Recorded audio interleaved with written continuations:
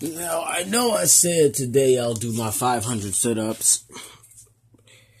I did, but it's alright, I did my workout today. Hey, screw it, I'ma just come clean.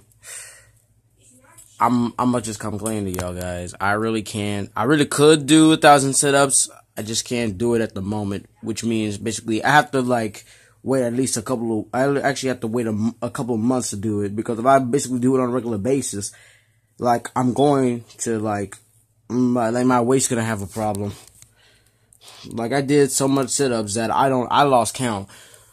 Like the first time when I did a thousand sit ups all at once, I, I felt proud of myself.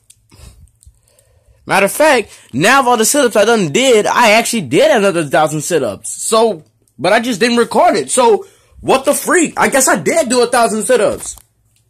Okay, that pretty much wraps it up.